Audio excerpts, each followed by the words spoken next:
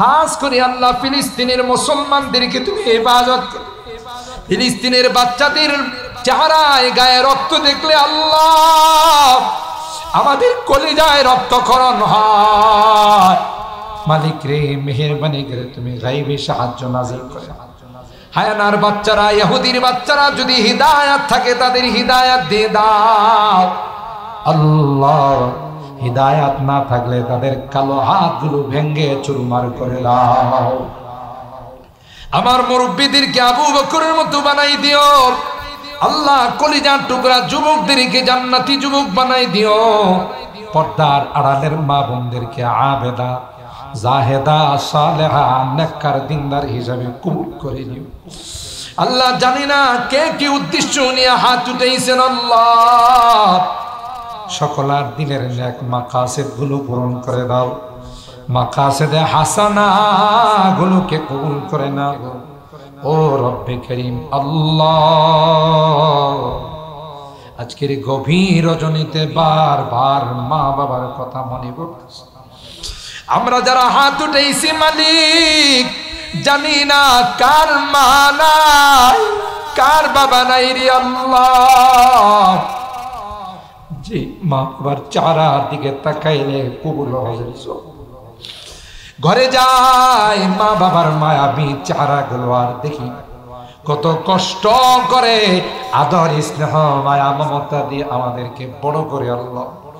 মা নাই, বাবা নাই। মা জনম দুঃখিনী মা আমি কনসেপ্ট করার সাথে সাথে আবার সুন্দরী মাটা কঙ্কালের মতো হয়ে গেছে। কিছুই খাইতে পারে না। যা খাই মার হয়ে যায়। আল্লাহ আল্লাহ। আমি আস্তে আস্তে বড় হতে লাগলাম। মা কলি যাই লাথি মা পৃথিবীর কারও কাছে বলে না। নীরবে ব্যথাগুলো সহ্য করে নেয়। দুনিয়াতে আসার সময় মার কলি যাই লাথি মারছে। কলসকে কলস, রক্ত প্রবাহিত করে আল্লাহ। মাকে বেহুশ করে আমি দুনিয়াতে আসলাম। দুইটা বছর মাকে ঘুমাইতে দেই নাই। আমার ক্ষুধা লাগছে, কান্না করছি রে আল্লাহ। মা, কাঁচা ঘুমটা ভেঙ্গে আমার খাবারের ব্যবস্থা করছে। কনকনে শীতের মধ্যে মার কুলি পেশাব করে দিয়েছি। মা, বিরক্ত হইয়া আমাকে ফেলে দেয় না রে। বরং ভিজা কাপড়টা তার নিচে। আমাকে বুকের সঙ্গে জড়াইয়া রাত্রটা পার করে দিয়েছে। আল্লাহ আল্লাহ। বাবা কাঁধে কুলে নিয়ে আমাকে মানুষ করেছে। রক্ত পানি করে আমাকে মানুষ করেছে। মাথার ঘাম পায়ে ফেলে আল্লাহ আমার জন্য বাবা কোরবানি করেছে। ভালো কোনো কাপড় চুপড় পরে নাই, ভালো কোনো জুতা পরে না আমার সন্তানটা একটু আরামে থাকবে। আজকে ঘরে যাই, মা নাই, বাবা নাই। আল্লাহ গভীর রজনীতে বারবার তাদের চেহারাগুলো চোখের সামনে আসতেছে। গুনার কারণে যদি তোমার জাহান নামের আসামি হয়ে থাকে, আল্লাহ।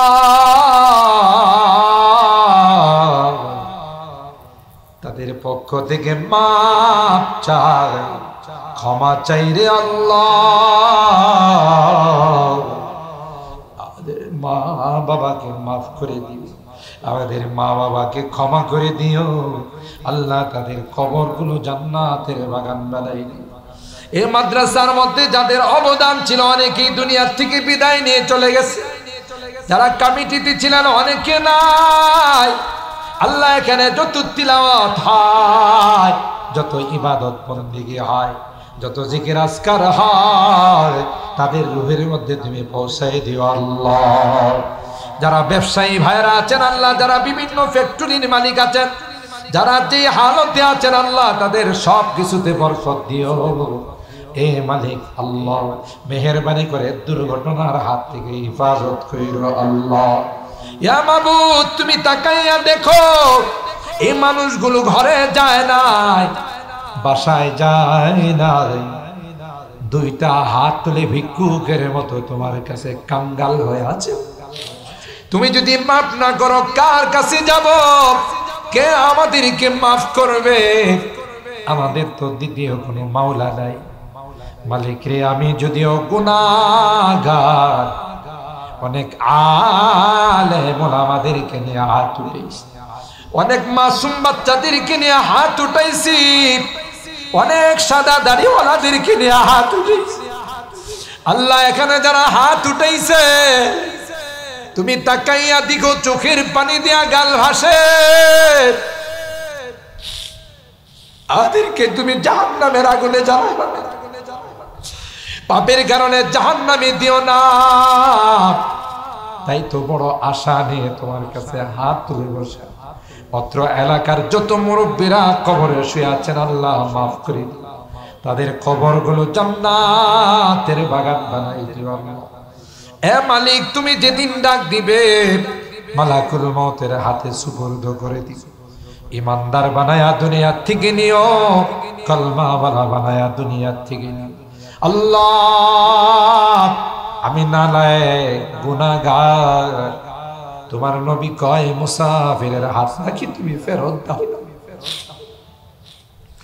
তাই আল্লাহ তোমার কাছে শেষ ফরিয়াদ যাদের হাতখানা পছন্দ হয় সেই হাতের ওসিলায় আমাদের দোয়াগুলো কবুল করে নাও ربنا تقبل منا إنك أنت السميع العليم وتب علينا إنك أنت التواب الرحيم মোদের নেতা বিশ্বনবী কে কথা কয় না মোদের নেতা বিশ্বনবী হাফিজ হলো তার প্রতিনিধি কথা বলেন ঠিক কিনা ওলামা হলো তার প্রতিনিধি মোদের নেতা বিশ্বনবী ওলামা হলো তার প্রতিনিধি ঠিক কিনা বলেন?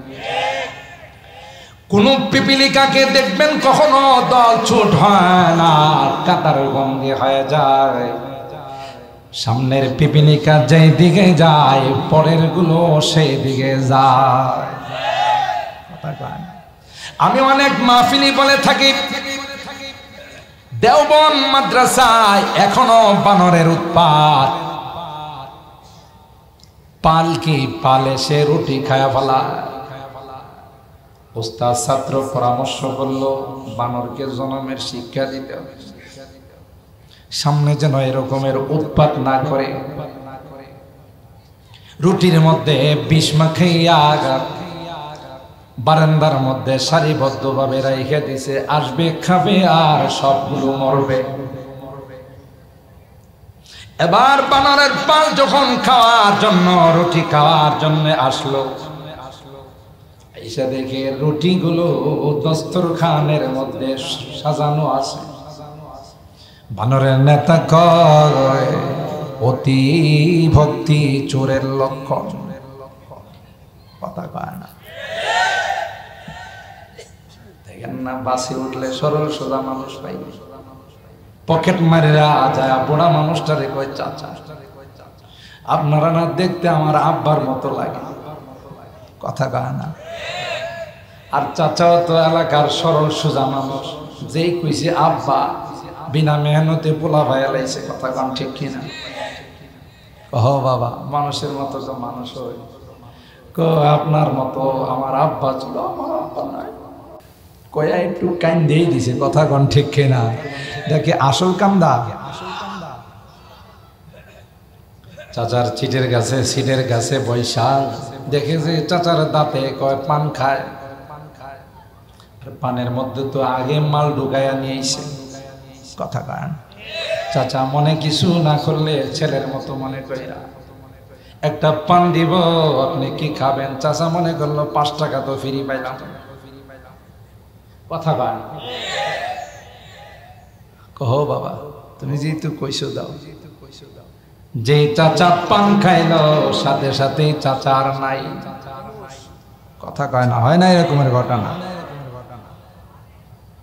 অতি ভক্তি। দেখছেন? দেখছেন এবার ভাতিজা চাচার মোবাইল নে চাচার পকেটের টাকা পয়সা নেয়। কারণ সে তো তার চাচা, এমনি তো সে মিরাজ পায়। কথা পায় না। চাচার কাছ থেকে ওয়ারিশ পায় না। চাচা তো, ভাতিজা তো এমনি পায় এগুলো তো হেই নিব আর নিব কেডা? কারণটা হলো অতি ভক্তি। কথা কয় না। বানরের নেতা যখন দেখলাম সুন্দর করে রুটিগুলো সাজানো আছে, তখন বানরের নেতা তাদেরকে কয় ফাতা কিন্তু আছে কি কয়? একটা রুটি খাওয়ার জন্য লাঠির পিঠা খাইতে হয়, একটা রুটি খাওয়ার জন্য কত ধমক খাইতে হয়। ওরে বাবা, আজকে সুন্নতির দস্তরখান কথা কয় না। রেড অ্যালার্ট জারি করে দিল সবাইকে। নানা না মুখ দিবা না। আমার ডায়াগনস্টিক সেন্টারে আগে আমি টেস্ট করে সুবহানাল্লাহ আল্লাহ। তাফাক্কারু ফি খালকিল্লাহ ওয়ালা তাতাফাক্কারু ফিল্লাহ। আল্লাহর পয়গম্বর কয়, আল্লাহর সৃষ্টি নিয়ে তুমি গবেষণা করো, সুবহানাল্লাহ জোরে বলেন। একটা বানর তার ডায়াগনস্টিক সেন্টার তার মেশিন কত শক্তিশালী, কত স্ট্রং রুটিটা নাকের কাছে দিতে দেরি হয়। রেজাল্ট বের হইতে দেরি হয় নাই। পরীক্ষা পত্রের মধ্যে কথা লিখে দেয় না রিপোর্ট ডেলিভারি আগামীকাল বিকালে। লেখা আছে? সাথে সাথে রিপোর্ট ডেলিভারি সাথে সাথে রিপোর্ট আউট হয়ে গেল। বইজা ফালাইছে যে রুটির মধ্যে বিষ মিশাল সবগুলো বানার ঢাকা মেডিকেল কলেজের ছাত্র। হ্যাঁ? চট্টগ্রাম মেডিকেল কলেজের ছাত্র। বানরের নেতা যখন ওই রেড অ্যালার্ট জারি করে দিল একটা বানর রুটি মুখে নেয় না গাই সবাই জঙ্গলে চলে গেল। হুজুররা, ছাত্ররা মনে করছে যে জীবনের শিক্ষা পাইছে, আর আইব না, জাতে তো বান্দর। কথা জাতি কি? কিছুক্ষণ পর ওই নেতাকে ফলো করে সমস্ত বানররা চলে আসে রুটি খাওয়ার জন্য। এবার খালি হাতে আসে না। অস্ত্র নিয়ে আসছে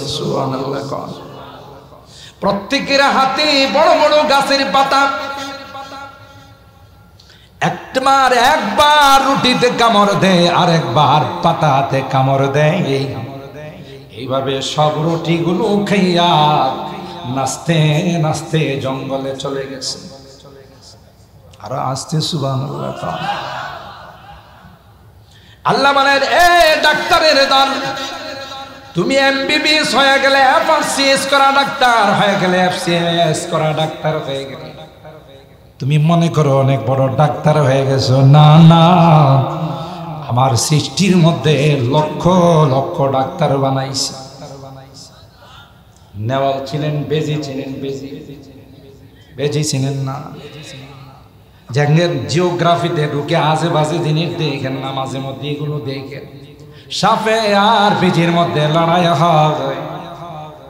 সাপ কিন্তু বারবার বেজির গায়ে চুবল মারে।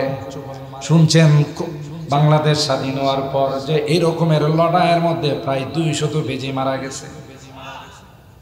পাঁচটা বেজি মারা গেছে। একটা বেজিও মরে না কারণ আল্লামা কামালউদ্দিন দামিরি রহমাতুল্লাহ আলাইহি। হায়াতুল হাইওয়ান নামক কিতাবের মধ্যে লিখেন, বেজিটাকে যখন সাপে চুবল মারে, বিষাক্ত সাপ যখন তার ভিতরে বিষ ঢুকায়, সাথে সাথে বেজিটা জঙ্গলের একটা লতের মধ্যে কামড় দেয়। ওই সাথে সাথে তার শরীরের বিষটা নেমে যায়। এই জন্য একটা বেজিও মারা যায়। মানুষকে কামড় দিলে মরে না বাসে কথা বলেন। কোরআনে আল্লাহ তাআলা আরেকটা সূরা নাযিল করেছেন, যে সূরার নাম হলো সূরাতুন নাহল। মৌমাছির নামে আল্লাহ তাআলা সূরা নাযিল করেছেন। মৌমাছিগুলো আপনাদের আশুগঞ্জ এলাকায় বাসা বাড়িতে গাছের মধ্যে, ছাদের মধ্যে বাসা বানায়। আল্লাহ পাক বলেন ওয়াহা রাব্বুকা ইলান নাহাল। আনিত্তাখিদি মিনাল জিবালি বুয়ুতান ওয়া মিনাশ শাজারি ওয়া মিম্মা মৌমাছিকে আমি আল্লাহ প্রশিক্ষণ দিলাম, ট্রেনিং দিলাম। একটা মৌমাছি মধু আহরণ করার জন্য বাসার থেকে যখন বের হয়, তার গতিবেগ থাকে ঘন্টায় ছয় শত মাইল। আরও আসতে সুবান আল্লাহ কম প্রভুজুর সব সুবান আল্লাহ সাখাওয়াত হোসেন রাজিরি দিয়ে দিছি আর কতিবে বাঙ্গাল জোনায়দ আল হাবিবরি দিয়ে দিছি। এখন আর কিচ্ছু নাই, আমরা বারবারই করেন না সুবান আল্লাহ আজ পর্যন্ত কোন বৈজ্ঞানিক, দার্শনিক পৃথিবীর মধ্যে এমন কোন স্থল যার আবিষ্কার করতে পারে নাই, যার গতিবেগ ঘন্টায় ছয় শত মাইল। ছয় শত মাইল চাইনাওয়ালারা চাইনাওয়ালারা একটা ট্রেন বানাইছে, যার গতি গতিবেগ হলো ঘন্টায় চারশত মাইল। এখনও মৌমাছি থেকে দুইশত মাইল পিছনে আছে। একটু জুড়ে সুবাহ কন। বাংলাদেশের আশুগঞ্জের মৌমাছিগুলো আফ্রিকার জঙ্গলে যায়, ইউরোপ কান্ট্রিতে চলে যায়। ফল ফুল থেকে রস আহরণ করে। আবার যখন আপনার আশুগঞ্জে আসে, ভৈরবে দুর্জয়ের মোড়ে আসা ট্রাফিকরে জিজ্ঞাসা করে, ভাই, আশুগঞ্জ গেলে কোন রাস্তায় যাওয়া লাগবে? হ্যাঁ? আল্লাহ বলেন, আমি এমন মেয়ে তার সামনে দিয়ে দিলাম। এমন প্রশিক্ষণ তাকে দিলাম। চুল পরিমাণ ব্যাগ পাইতে হয় না। সেই পাইলট যেমন ম্যাপ দেখে পাইলট যেমন মানচিত্র দেখে, নকশা দেখে, তার বিমান চালায়, তার চেয়েতে অনেক অনেক গুণ বেশি প্রশিক্ষণ প্রাপ্ত আমার মৌমাছি। অমা রমাইতা ইদ রমাইতা ওয়ালাকিন এই আয়াতটা পরে মেসের কাটির মধ্যে যখন আমরা ফেলে দিই, তখন ট্যাং বহরকে জ্বালাইতে দেরি হয় না। হাজরত সুলাইমান পায়গাম্বার হুদহুদের খবরের ভিত্তিতে যখন বিলকিস রানীর কাছে চিঠি পাঠাইলো, শর্টকাট করে বলতেছে। হুদহুদ আয়সা বলল ওয়া উতিয়াত মিন কুল্লি শাই ওয়ালাহা আরশুন আজিম এ পয়গম্বর, একটা মহিলা গোটা এলাকাটাকে শাসন করে, এমন কোন জিনিস নাই রে, যা তাকে দেওয়া হয় নাই।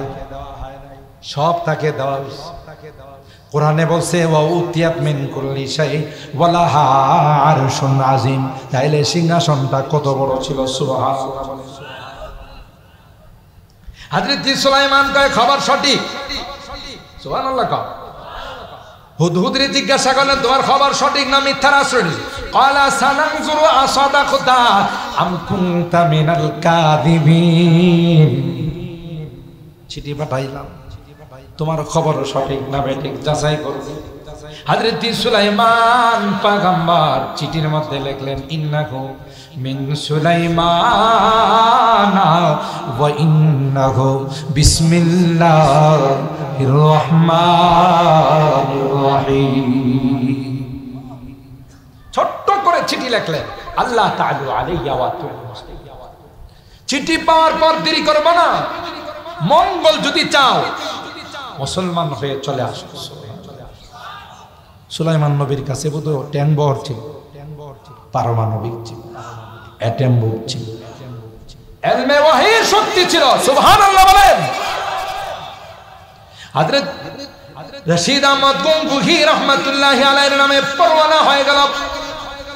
ইংরেজের আদালতে পেশ করা হলো, আর বিচারক বলল, আপনার নামে অস্ত্র আইনে মামলা। ফাঁসি হয়ে যাবে। কি অস্ত্র আপনি ব্যবহার করেন? রশিদ আহমদ গঙ্গুহি কয় অস্ত্র দেখবেন। বিচারক থর করে কাঁপা শুরু করল। বেড়া তুই অস্ত্র বলে লই আইসি আদালতে। কথা কয় না। হাজরত কয়, অস্ত্র দেখবেন আপনি কি সাথে অস্ত্র নিয়েছেন কথা কয় না। হ্যাঁ পারে না চেয়ার থেকে কাইপা পরে যাই? ইয়া আল্লাহ মৌলবি তো অস্ত্র নিয়ে ঢুকছে। একটা পর্যায়ে কয়, দেখান। হাজরত রশিদ আহমদ গঙ্গুহি রহমাতুল্লাহ আলাই পকেট থেকে তাসবিটা বের করে কয় এটা হলো আমার অস্ত্র, অন্য কোনো অস্ত্র নাই। تمرا তোমরা হাজার جا দিয়ে پر بے ہمیں اکتا دانا تان টান দিলে তার চাইতে বেশি পাওয়ার চলে আসবে اللہ اکبر ڈرتے نہیں مسلمان دنیا میں کسی سے ڈرتے نہیں مسلمان دنیا میں کسی سے جب مل گئی ہے دولت و ایمان نبی سے بازو تیری توحید کی قوت سے قوی ہے ইসলাম গড়া দিন হ্যাঁ তু মোস্তফাবি আরে মুসলমান তোমার ভয় কিসে তোমার অভিভাবক তো স্বয়ং আল্লাহ সারি দুনিয়া হু মুখালিফ کچھ نہیں نقصان ہے ساری دنیا ہوں مخالف کچھ نہیں نقصان ہے ڈر نہیں ہے غم نہیں ہے ڈر نہیں ہے गम नहीं है जब मुझे रहमान है बोलें ठीक ना है आजिम हुसैन अहमद से बपा हंगामाए गिरो দারিহা আমরা তো তার তাদের রুহানি সন্তান শাইখুল আরব ওয়াল আজব আওলাদে রসুল হযরত হুসাইন আহমদ মাদানির রুহানি সন্তান, ঠিক কিনা বলেন? হে আজিমে হুসাইন আহমদ, সে বাপা ہنگام گیرو دارہا شاخوں کی لچک بن جاتی ہے۔ شاخوں کی لچک بن جاتی ہے۔ باطل کے لیے تلوارہا علم غنر کا گہوارہ۔ تاریخ کا وہ شہ پارا ہر پول آئے کے شولا ہے ہر سلو یہاں میں نارا ہے اللہ اکبر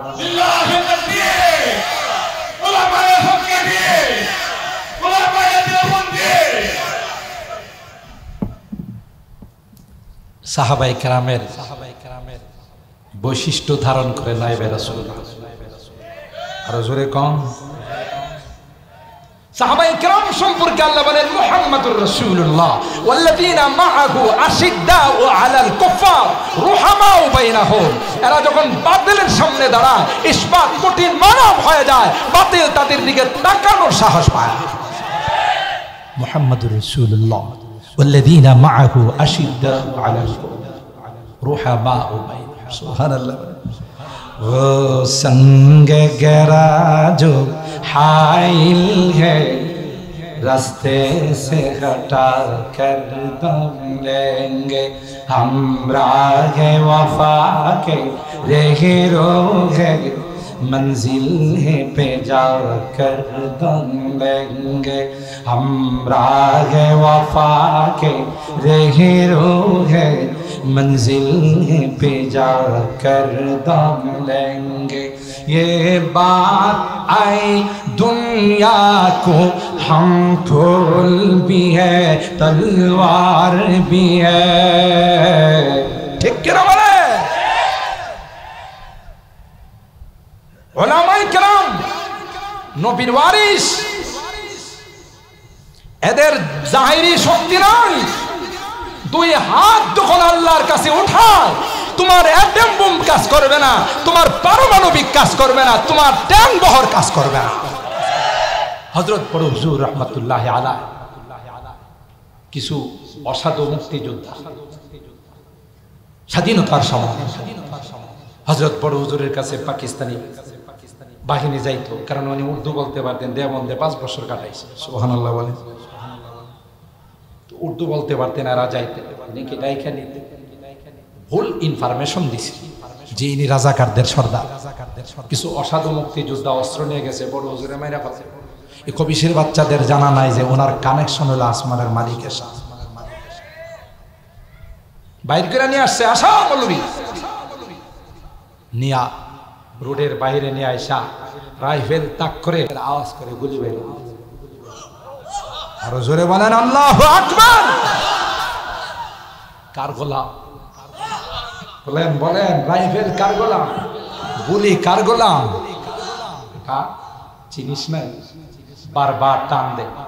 কের কের আওয়াজ হয় ওনার বুক বরাবর ধরছে রাইফেল। রাইফেলে পারে না হের দিকে তাক করে গুলি লাগে কথা কোন ঠিক কেনা? কার গোলাম? তুমি মনে করছ অস্ত্র দিয়ে শেষ করব? পারল না?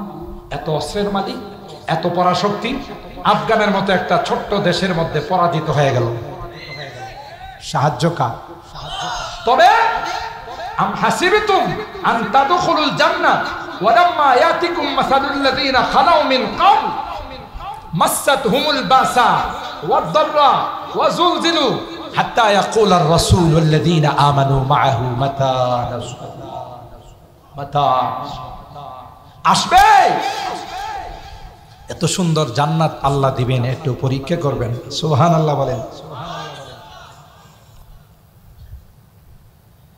আল্লাহর কসম, আজ কি বিশ্ব মুসলিম ও মুসলিমদের হাতে মার খা এটা আমাদের ইমানের দুর্বলতার কারণে, ঠিক কিনা বলেন?